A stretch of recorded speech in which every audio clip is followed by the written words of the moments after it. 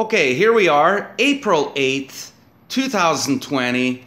Nice Wednesday morning, and there's downtown Vancouver.